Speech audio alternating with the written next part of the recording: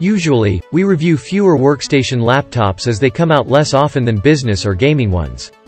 Now, our review of the Lenovo ThinkPad P15V was the fourth one in the span of a month, which is borderline crazy, as it has never been the case before.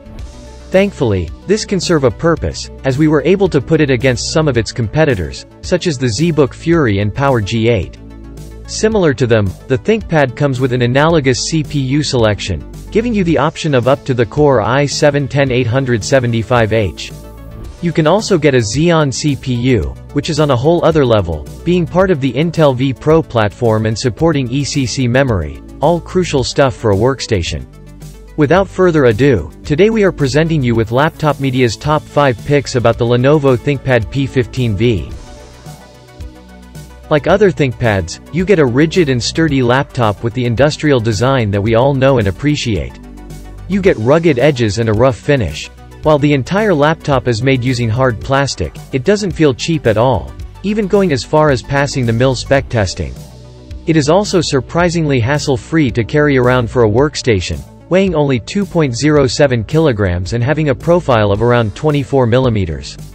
The lid opens easily with a single hand and doing so reveals a matte display with relatively thin bezels, an HD webcam on top with a ThinkShutter and an optional IR sensor with Windows Hello face recognition.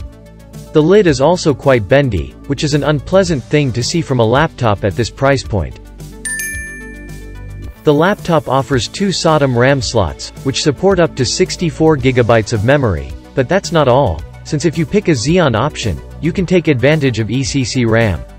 Storage-wise, there are two M.2 PCIe X4 drives, which come with RAID support. Here is our teardown video, which shows exactly how to safely access both the SODIMM and SSD slots.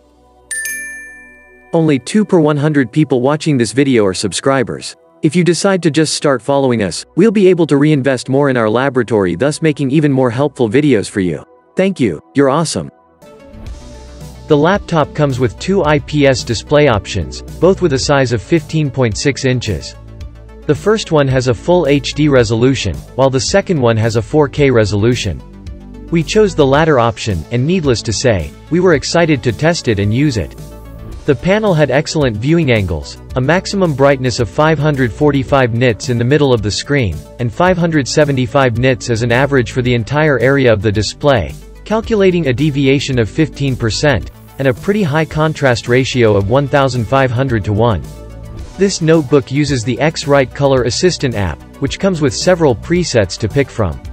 The display covers 99% of the sRGB color gamut, 98% of the Adobe RGB gamut, and 90% of the DCI-P3 gamut. The color accuracy isn't as great as we hoped it would be, as even with our design and gaming profile, we couldn't bring down the delta E value to match the standard.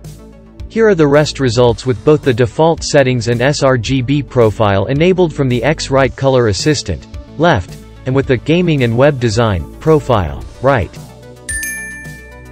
The laptop has many software goodies, but we'll mainly mention the ThinkShield suite, which brings the security of this laptop to a standard above the rest. ThinkShield has several components, with software being one of them. Lenovo has designed a whole system, with certified supply chains, so that quality hardware isn't tampered with, security stickers on every batch of products, and good care of devices after their lives have ended.